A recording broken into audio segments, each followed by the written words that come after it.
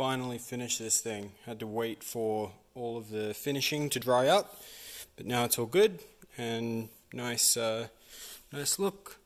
Powerblock stand. This thing's 90 pounds. Drop that on. You got it there. And then the other stand, I don't, I don't have the weights here, but and then the metal slugs, instead of going in slots, they just snap down on the magnets.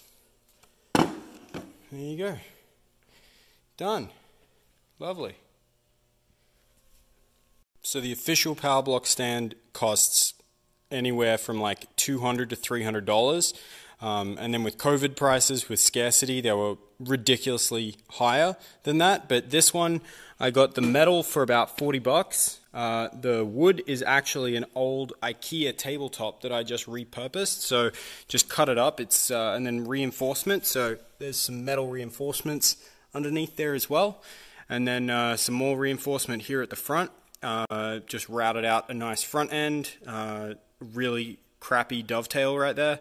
Uh, but yeah, it's all uh, it's all done nicely, and again, magnets down the middle because I wanted it low profile. But I'm pretty happy with how it looks. Uh, it's going to fit in nicely in the apartment. The uh, regular Powerblock stand is a little too industrial uh, for like a regular apartment, uh, so this will this will work nice.